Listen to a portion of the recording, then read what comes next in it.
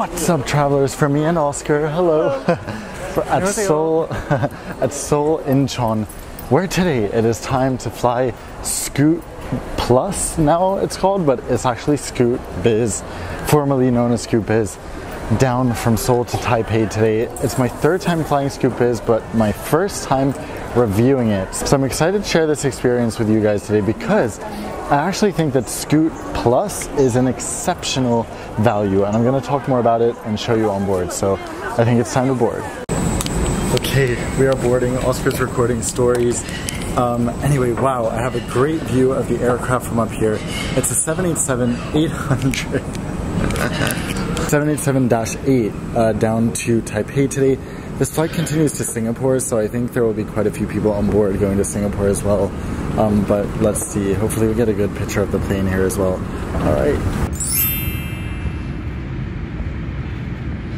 The aircraft looks so fun in the yellow here at night. And all right, let's go. Here is economy. Lots of yellow. This is a good place to sit up here um, in rows five and four. You'll pay extra for this, but check out the leg room. So much privacy and space. Welcome to Scoot Plus.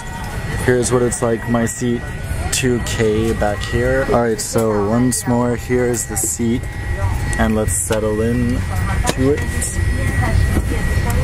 All right, welcome to Scoot Biz. Actually, Plus is what we want to say. Here is Oscar's seat. Oscar's packing everything on top. Um, and this is what the seat looks like to our left. We have the tray table, which comes up out of here. Hello, hello. Some drink storage. Um, a few controls is just crew call button and uh, light pretty much. Then on this side, nothing happens, but we just have the seat controls for recline and leg up, and um, of course the window shade controls on the 787. So here, as you can see, we have pretty much unlimited legroom. It's super comfortable here in row two.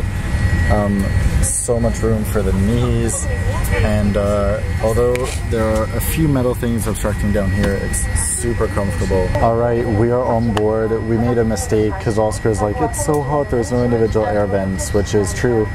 I forgot, I put my USB fans in the checked luggage and we didn't bring them on board, so uh, ouch. so there are power ports at this seat, but no USB, so we'd have to use them through our computer anyway, but great to have power ports so we can charge all our stuff. I wanted to tell you why I think Scoot Plus, as it's called nowadays, is such a good value, and that is because the price of economy would have been this much, and the price of Biz or Scoot Plus, I keep saying Scoot Biz, would have been this much. So basically, as you can see, the difference when you add in checked luggage, a meal, seat selection, all that stuff is so minimal, and the level of comfort you get is so much better. And the great option is that Scoot Plus is available throughout Asia. Now, if you guys have been following me since the spring, you know that I posted a video about getting um, I wouldn't say harassed, but basically dealing with rude passengers in Scoot Biz flying from Singapore to Perth. If you haven't seen that video, it's a funny one, so I'm gonna leave it in a card um, up here. That led to my review getting all screwed up, and I didn't post a review from that flight, so that's why we're doing this today. So we have some pre-departure water served like this. We also made our drink orders. Meal and meals and Scoot Biz are pre-ordered online when you book the flight. Oscar and I both chose the Indian veg madras curry. I think that's what we're gonna get. Super excited because we're so so hungry. How do you feel, Max? Okay.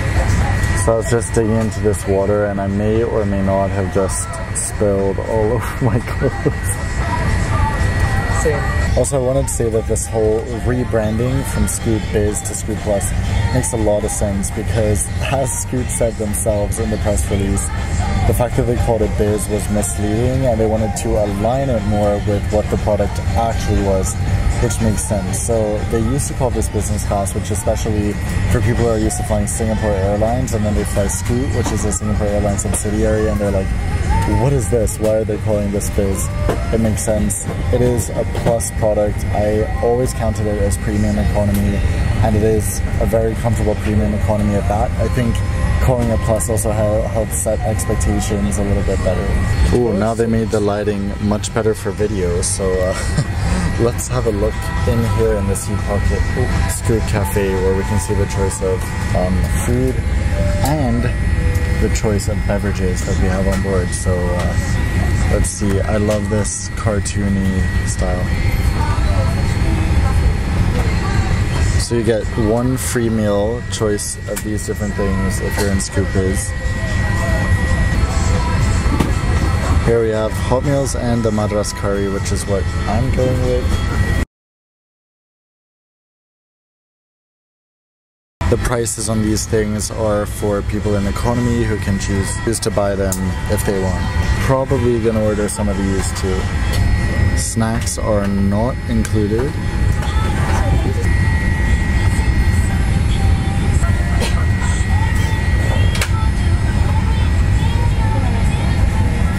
Finally the liquor.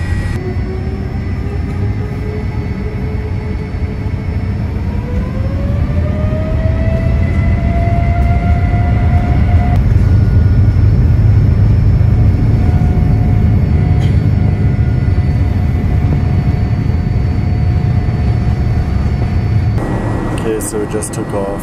Oscar is connecting to Wi-Fi. Scoot offers free Wi-Fi nowadays in Scoot Plus, um, 30 megabytes, which is great. Also, you can see the seats in front are reclined. But even if the seats are reclined, it's perfectly fine to work on a laptop. There's plenty of room here, so you won't have to fold it like you would in economy. And combining that with Wi-Fi and power ports, this is a good place to get some work done although I'm quite tired, so I'm excited to eat and then sleep. The meal service has started and technically ended, given that they served it all on one tray. We have some chocolate for dessert, and here's the main course. I ordered coconut water to drink along with the food. So uh, let me un unbox this for you. Alright, and here we are. It looks decent, smells decent, so uh, let's just dig in because we are both super hungry. Okay, now it's time for dish. dish number two. We ordered some extra um, veggie cup noodles for five Singapore dollars per person, so we get to assemble them ourselves. So Oscar was just saying that he's super impressed by the recline.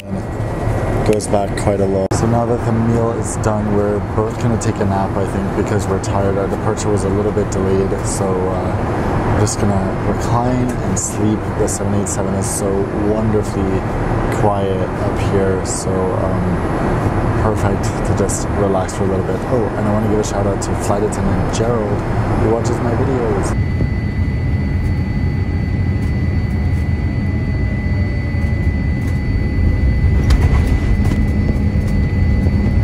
Okay, you guys, we made it to Taiwan. It's mine and Oscar's 50th country together, which is so exciting.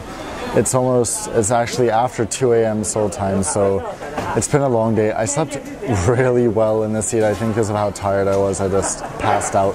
But one thing I noticed when the seat is reclined, it's almost impossible to get out. So I was like doing all types of weird like uh, body movements, trying to find a way to squeeze out of the seat while Oscar is still sat in his. But anyway, Scoot Plus is such a great value.